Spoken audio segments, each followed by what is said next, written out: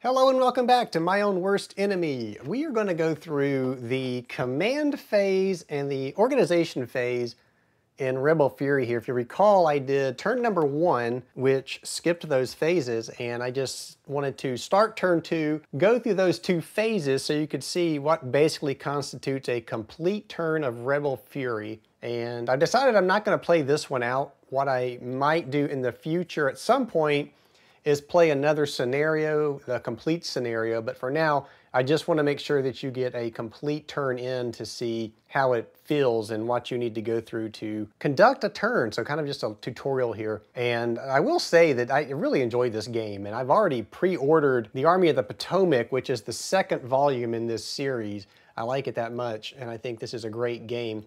And I highly recommend you check this one out and take a look at the other one that's coming up as well. It's on the P500. You get a discount if you order it now, so keep that in mind. But let's go ahead and start. So I, have got the rule book here. We are going to start with 4.0. That is the command phase. And the first thing that we do is the initiative. And so we, we're in turn two now. So it says starting on turn two or three in a turning movement scenario, each side is going to total the number of battle stars on their HQs, which are on the map. The side with the greater number of battle stars is going to be the first player. So if we had our HQs are here's Rosecrans and here's Bragg.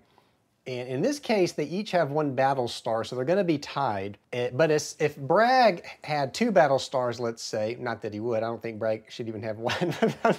let's not comment on the quality of Civil War generals, I guess.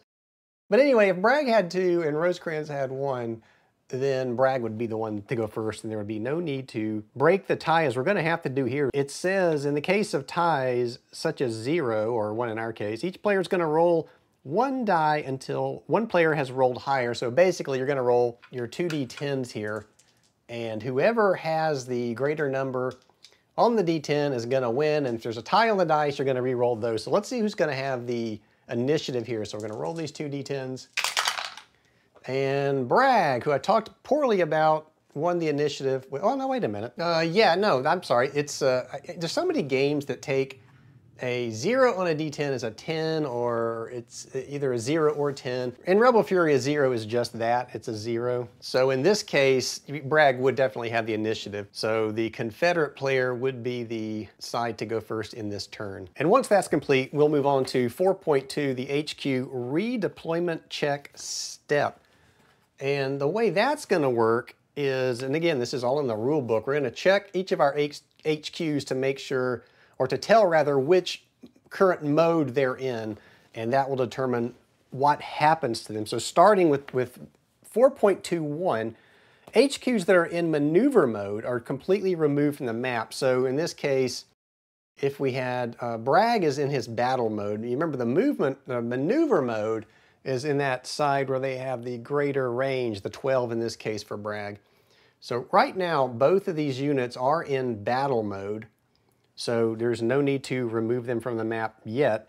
We go to the next step, and this is where if the HQs have one of these markers, uh, one of these markers on them, HQs in battle mode, which we both have in battle mode, with a battle mode auto marker on it, well, they don't have that then you would remove them. So let's go to the next step, HQ's in battle mode with a battle mode plus two marker on it. And in this case, you would have to make a die roll to see if they come off. And this, again, these markers are not on our HQs right now, which brings us to the final one, which our, our, our HQs are in battle mode and there are no markers on them. So the HQ must make a removal die roll. We're gonna roll a D10 and we're gonna add the number of battle stars. And again, each of our generals here have one battle star, or each of our HQs. I'm not going to say general because, again, these are not generals on the map. They're just HQ markers. So each one has one. So they'll each get one added to this die roll. So it says to add the number of battle stars, roll, add that one in our case to it, and look up the result on the HQ removal check table, which is printed here in the rules. It's also printed on the player aid card conveniently for us. So let's go ahead and do that. We'll start with the union. So we're gonna start with Rosecrans up here. I'll grab the D10 and we're gonna roll on this table and we're gonna add one to whatever this roll is. So we roll, we get an eight plus one is nine. So it says five or greater. The HQ is removed from the map and you also remove the marker this marker would also be removed at the same time. So Rosecrans comes off the map for now. And let's roll for Bragg. We'll use his gray Confederate D10 here. So we're gonna roll. Two plus one is three. So four or less, the HQ must remain in battle mode in the same hex for this entire game turn. And of course it says if the HQ has a battle mode of plus two, you'd flip it to its auto size, or otherwise you would place a plus two marker on it. So in this case, Bragg is gonna be stuck here for this next turn, turn two. Now what that means is Rosecrans, and we'll see in just a second here, is, is gonna be able to relocate his HQ to somewhere a little more where he would want it to be, where Bragg is kind of stuck here. And again, if you remember the command range now, he's gonna have to, all these units are gonna have to want to kind of converge where Bragg is. So it's not a good thing for Bragg, but it is a good thing for the Union. So once you do that, and now you know where the HQs are, so we've got Rosecrans off the map, Bragg on the map, you go into 4.3, which is the HQ redeployment step. So starting with the first player, and in this case it is the Confederates, each player must place all HQs that were removed in the step above or are arriving as reinforcements, which you remember we have some coming in in later turns, but they're not here yet. Each HQ may be placed in either maneuver or battle mode. There are some limitations as to where you can place these. Cannot be placed in a hex containing an enemy zone of control or zone of influence. Cannot be placed in a hex with an, that already contains an HQ, and it must be placed within three hexes of a friendly unit, divisions or detachments. It may be placed in a hex with, friend, with a friendly unit. It must be placed closer, not the same distance to a friendly unit than it is to uh, enemy units. And then it says in the unlikely event that an HQ has no associated units on the map, then you would place it in an empty hex on the map within three hexes of a friendly entry hex. So what that means is we're gonna take uh, we'll do nothing for Bragg, because remember, he's already on the map. He couldn't move, or he's not going to move.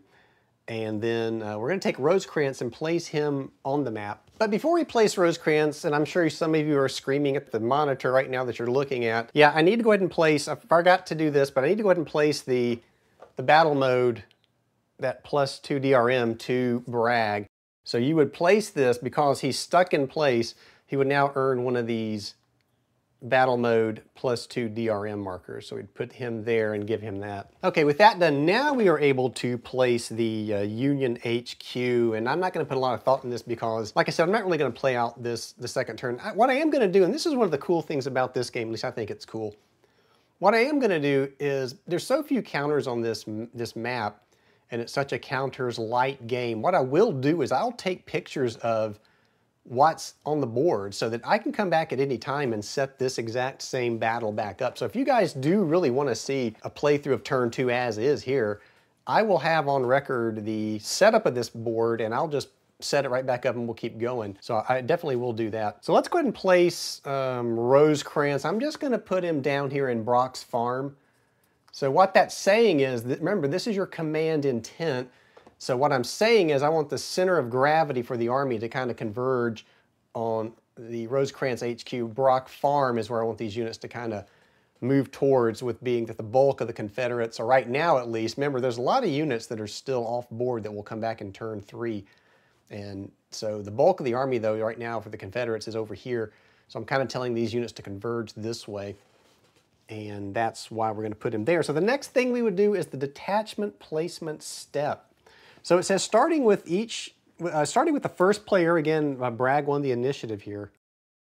4.4, the detachment placement step. So in this particular scenario, the Union set up with three detachments available. The Confederates had two detachments available. So there are, again, limitations as to where these detachments can go and it's cannot be placed in a, it's obvious stuff really, cannot be placed in a hex containing an enemy zone of control, zone of influence, or enemy unit, cannot be placed in a hex that already has a detachment, cannot be placed in an enemy entry hex, which that's, why somebody would do that or try want to do that, may be placed in a hex with a friendly HQ and or division, may be placed in an unoccupied entrenchment or fort if not in an enemy zone of control or zone of influence. And of course, the HQ must trace a path from its hex to uh, the detachment's placement hex, and it cannot that path cannot pass through enemy zones of controls, influence, or even a unit. The path can be no longer than the HQ's command range. So you'll note that when I put Rosecrans down, I didn't mention it, I put him down in maneuver mode, so his command range is 12, and that's, you know, if you want to put these detachments down,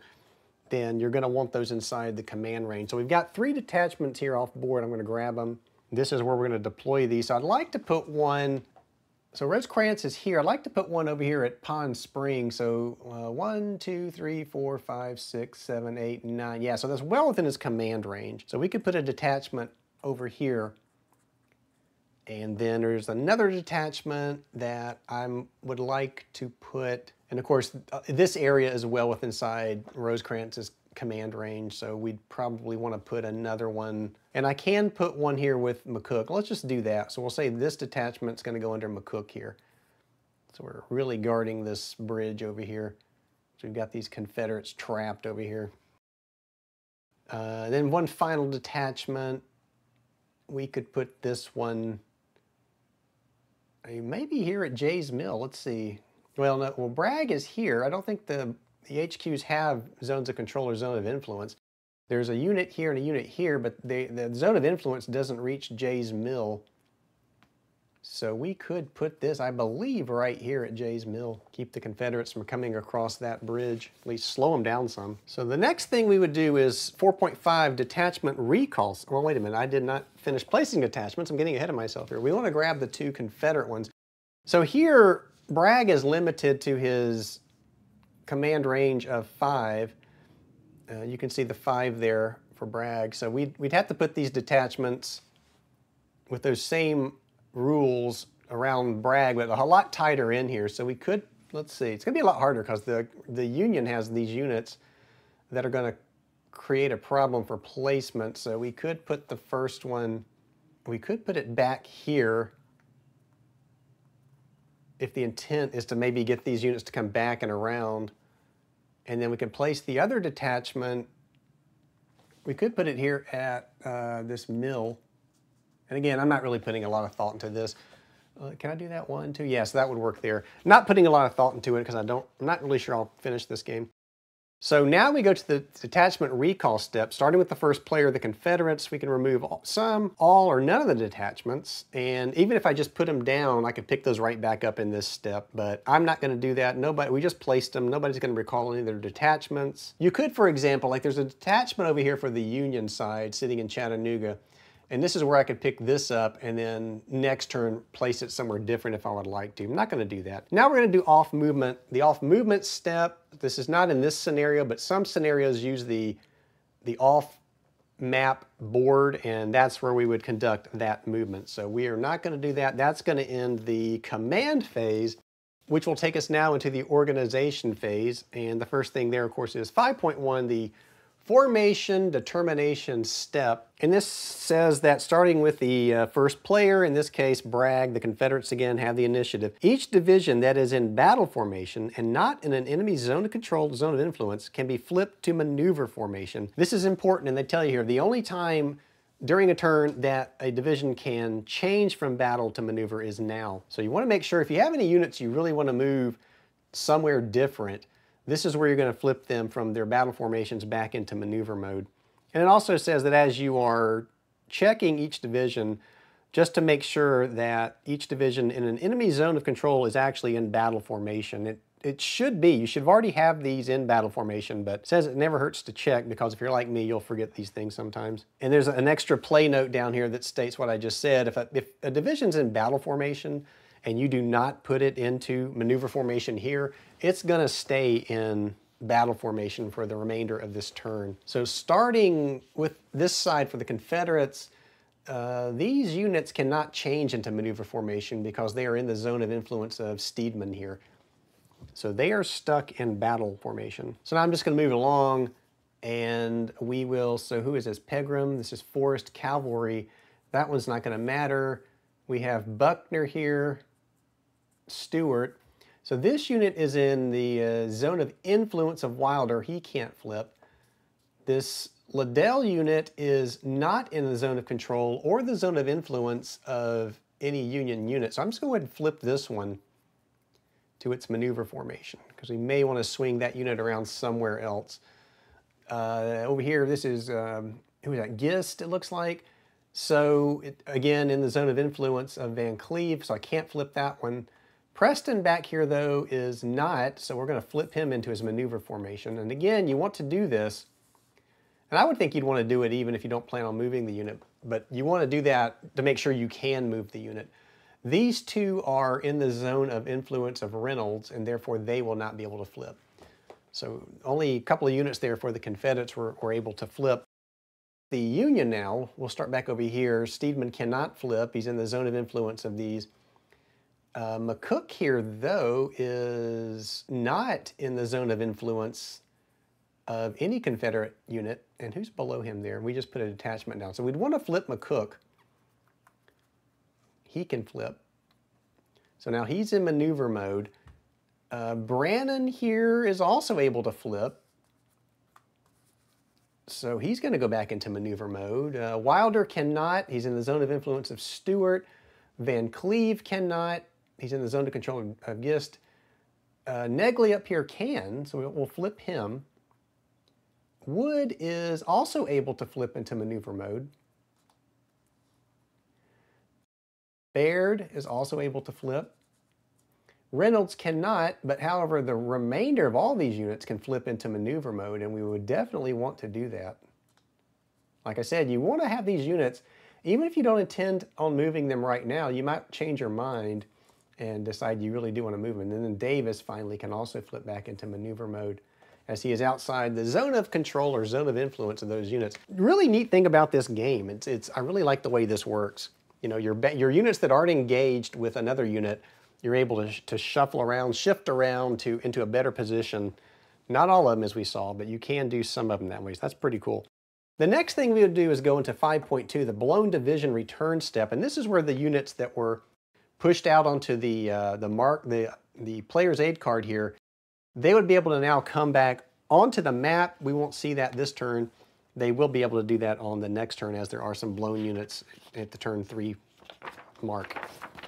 Then finally, we have this disengagement step, and that says, uh, starting with the first player, the initiative player, you can conduct voluntary retreats. You alternate choosing friendly divisions in an enemy zone of control and have it conduct a retreat. And then once the player passes, they cannot retreat any further divisions. Then their opponent may retreat up to three more divisions. This is how a surrounded division can extricate itself, but it's not a free lunch because if you go through the, the retreat procedure, uh, there's some things that happen. In this case, no one's going to retreat. Everybody is pretty much where they want to be, so I'm not going to conduct retreat.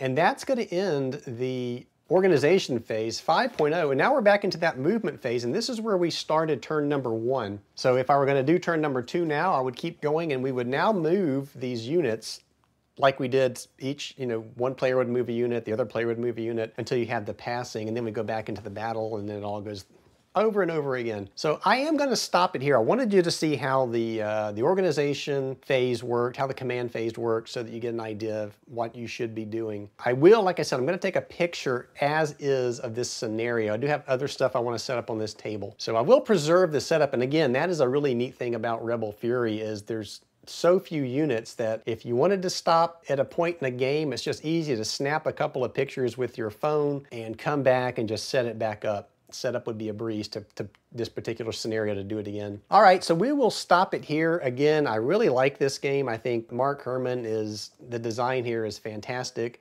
I don't need to say that. Everybody knows Mark Herman's fantastic in his designs. So, uh, and actually, Mark Herman, I, I, I pre-ordered your book on um, it's also on the P500 and hopefully I'm looking forward to reading that. I think that's going to be an awesome read. So as always, if you liked this video, please, I ask that you give it a thumbs up, subscribe to the channel if you have not, and if you really want to help the channel, consider becoming a patron, and that's going to allow me to get some better equipment for this channel, hopefully. And who knows, maybe a game or two. As always, thank you for watching, and I look forward to seeing you back here next time.